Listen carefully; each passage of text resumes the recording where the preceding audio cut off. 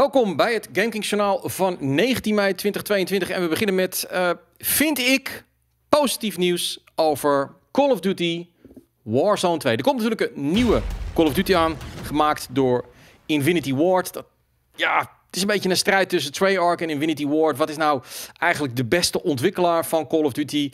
Um, ik ben een groot Black Ops fan als het gaat om schieten. Uh, maar ik denk dat Modern Warfare toch wel een beetje het, uh, de allerbeste Call of Duty is die ooit gemaakt is. Dus creds naar Infinity Ward. Nou, zij hebben dus nu de zware taak om die hele Call of Duty franchise weer eens een beetje uit de modder te gaan trekken. Want Vanguard heeft ervoor gezorgd, volgens mij, dat ze echt tienduizenden verschillende, uh, tienduizenden gamers zijn kwijtgeraakt. Uh, ja, dat moet gewoon allemaal weer terugkomen. En dat zou dan moeten gaan gebeuren met een nieuwe, helemaal gerevampte, nieuwe engine editie van Warzone. Laat ik dat even voor het gemak Warzone 2 noemen.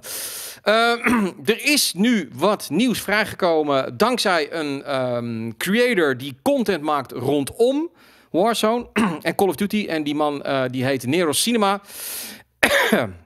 en um, zijn uh, relaas in die YouTube-video, uh, die wordt een beetje ondersteund door Tom Henderson, een aantal andere uh, ja, insiders die ook veel weten. En daaruit komen twee, wat mij betreft, belangrijke dingen naar voren. Ten eerste, um, de Warzone map, die gaat allerlei gedeeltes bevatten van al bestaande, al gereleasede Modern Warfare maps. En daar zitten, wat mij betreft, wel een aantal hele toffe bij. je ziet bijvoorbeeld High Rise linksbovenin. En um, een van mijn favoriete maps in uh, Modern Warfare. Um, ik, ik, ik speelde hier vaak in, vaak op die dakjes. Als je daar een beetje goed terecht kon, dan kon je mooi mensen aan de overkant neerpoppen of gewoon uh, rondrennen, rondjes rennen. Ik weet nog wel, er zat een cheat in dat je in een van die hijskranen kon. Dat is op een gegeven moment wel uitgehaald. Vind ik een fantastische map. Nou, dat zit er dus in. Goed nieuws voor heel veel Warzone-fans. Want er zitten dus weer hoge gebouwen straks in Warzone. Iets wat ze bij Vanguard heel erg misten. Uh, Terminal kon je natuurlijk zien.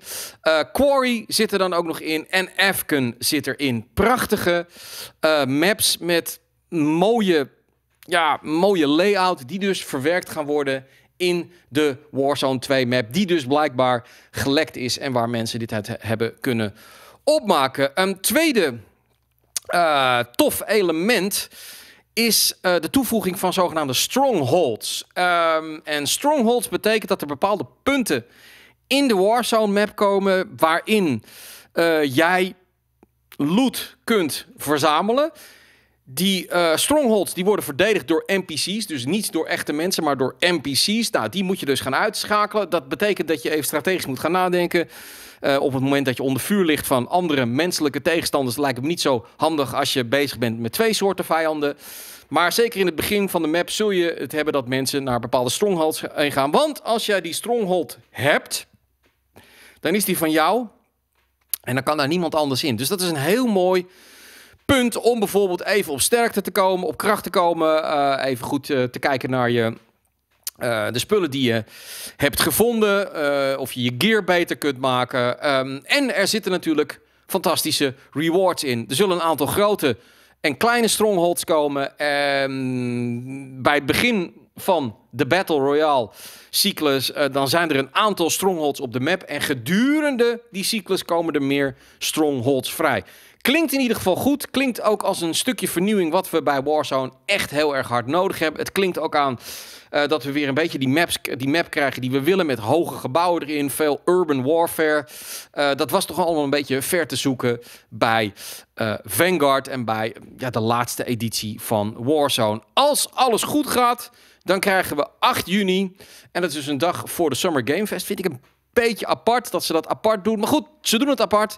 Uh, krijgen we dus de eerste trailer te zien. En dan denk ik dat we op 12 juni tijdens de Xbox en Bethesda persconferentie, uh, dan gaan we ook beelden zien van Call of Duty. Ook, ook nog opvallend, uh, Sony heeft een meeting gehouden waarin ze lieten zien waar ze marketing deals mee hebben volgend jaar. En een marketing deal is, zij betalen gewoon een bedrag en in ruil daarvoor uh, um, krijgen ze een bepaalde mate van exclusiviteit als het gaat om marketing.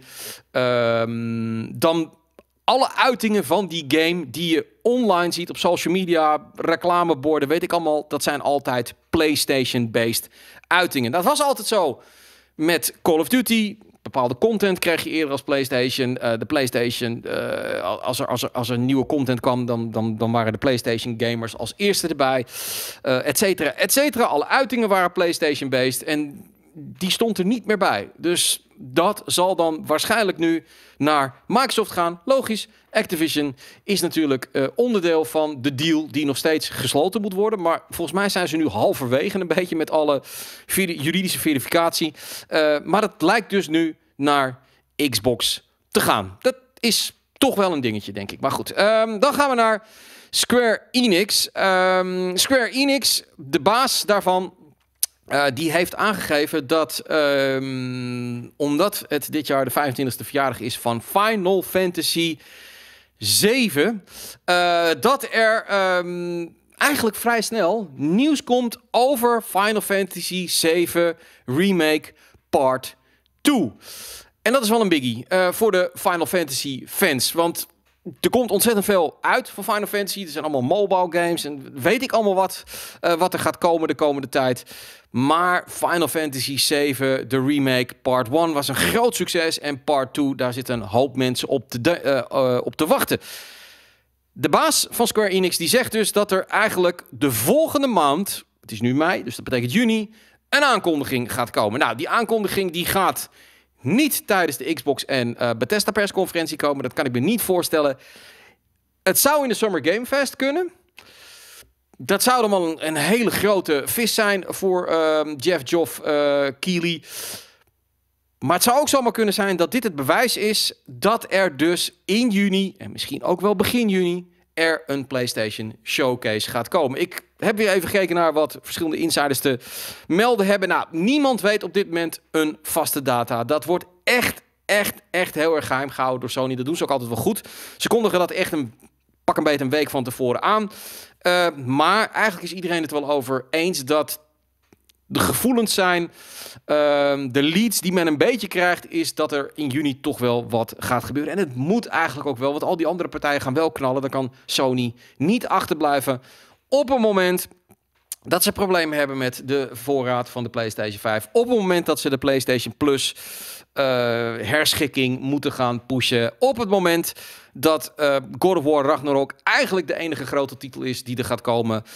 First party dan tijdens het najaar. Ze hebben ook dat momentum hebben ze gewoon nodig om te laten zien. En ze hebben genoeg om te laten zien. Dus het zou zomaar kunnen. Ik, ik hoop het van uh, harte. Dan, ander nieuws omtrent PlayStation is dat het nu toch wel vrijwel zeker lijkt te zijn dat The Last of Us remake vrijwel af is en dat we die dus um, eind van dit jaar gaan krijgen. Dus dan zouden we, ideale situatie, ik hoop niet dat God of War uh, Ragnarok wordt uitgesteld, maar dan zou je dus God of War Ragnarok en The Last of Us remake hebben. Nou goed, je kunt er alles over denken. Deze game ziet er nog steeds fucking amazing uit. Dus waarom heeft dit in hemelsnaam een remake nodig? Maar goed, whatever.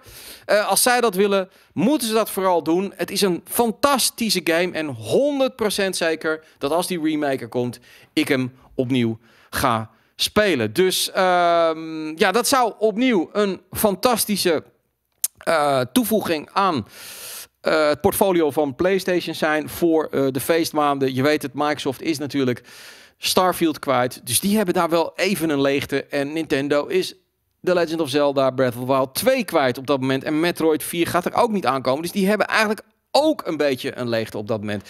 Dus als ze dat kunnen uh, volgen, uh, vullen, dan, dan is Sony wel weer gewoon heel erg goed bezig dit najaar. We gaan het blijven volgen. Dan, klein nieuws. Uh, Ubisoft, een free-to-play game. Uh, Roller Champions, dames en heren. Jawel, rollerskaten, elkaar een beuk geven... en dan met een bal proberen punten te maken. Uh, die game die gaat binnenkort ehm, ja, live. En dat is 25 mei. 25 mei, moet ik even kijken. Het is nu de 19e, dus dat is eigenlijk een klein weekje. Dat is dus um, volgende week woensdag, zeg ik dat goed?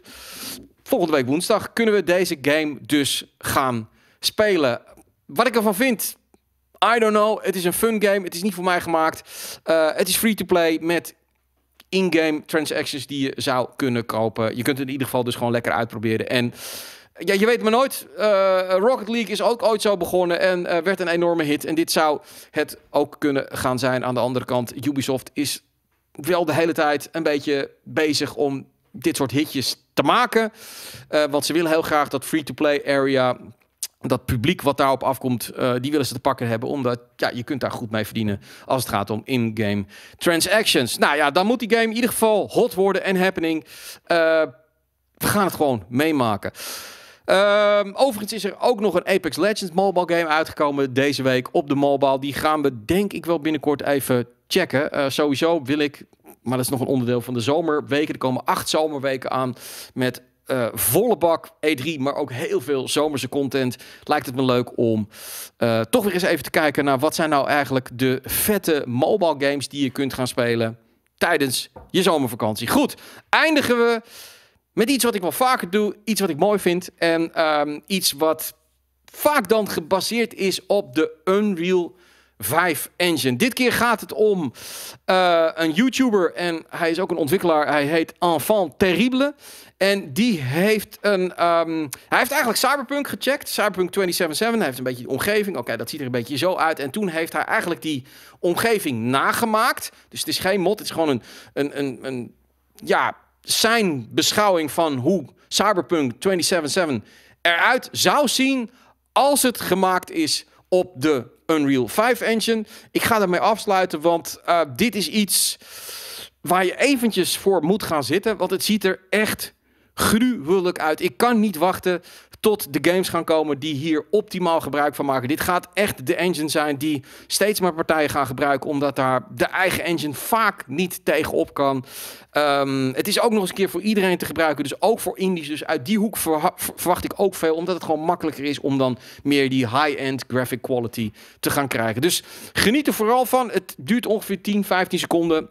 Maar dit is dus een artistieke impressie op Cyberpunk 2077 als het gemaakt is of zou zijn op de Unreal 5 engine.